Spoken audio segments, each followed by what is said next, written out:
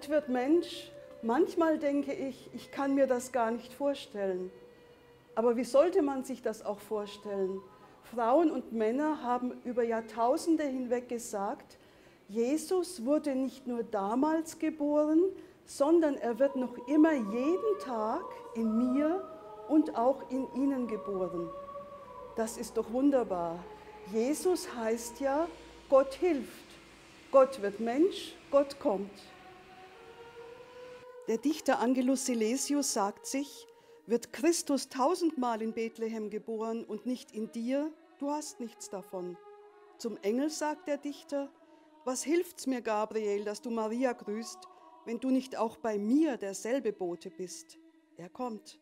Als tiefes Schweigen das All umfing und Mitternacht war, kam vom Himmel das lebendige Wort. Er kommt. Ach, könnte nur mein Herz zu einer Krippe werden.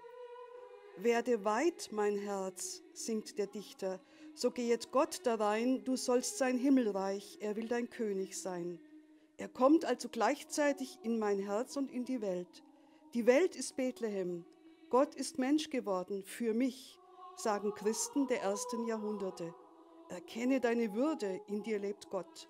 Das Heil ist gar nicht weit weg im Himmel, sondern im Herzen des Menschen. Deswegen jubelt ein Beter, tausendmal Tausende und zehnmal Tausende, Zehntausende Cherubim und Seraphim besingen und preisen meinen Herrn Jesus. Alle, die mein Herr Jesus sagen, werden stark. Sie leben in Gottes Gegenwart. Versammelt euch in mir, all meine Gedanken, denkt nichts anderes. Jesus ist meine Hoffnung, ich schaue ihn an. Jesus, Cherubim und Seraphim erheben sich vor dir. Sie können dich nicht betrachten, doch wir können dich betrachten. Du bist der wahre und sehr kostbare Edelstein. Der Kaufmann verkaufte dafür sein Hab und Gut und kaufte ihn.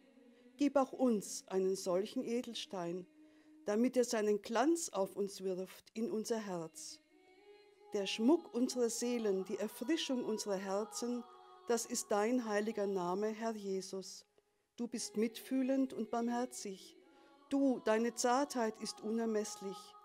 Die Cherubim schlagen mit ihren Flügeln, sie besingen und verherrlichen meinen Herrn Jesus. Die Sonne und der Mond werden zu ihrer Zeit untergehen, aber du, du bleibst. In der Fürsorglichkeit deiner Güte hast du die Himmel geöffnet und bist zu uns herabgestiegen, du Arzt und Heiland. Mein Herr Jesus, sieh uns an mit dem barmherzigen Blick deiner Güte. Schaffe in uns ein reines Herz, damit wir dich preisen können. Ich bitte dich, mein Herr Jesus, lass uns in deinem Königreich Erbarmen zukommen, wenn wir deinen Namen rufen. Ja, wir wollen dich loben, Herr Jesus, wir vertrauen dir. Wir singen dir und deinem gütigen Vater und dem Heiligen Geist. Du bist gekommen. Ich wünsche Ihnen und uns allen, gerade in dieser nicht einfachen Zeit, dass der Engelsgruß uns erreicht und dass wir staunen können, weil Gott da ist. Mein Schöpfer hat sein Zelt bei mir aufgeschlagen. Jesus wird Mensch und wohnt in mir. Meine Seele erhebt den Herrn und mein Geist freut sich über Gott, meinen Heiland.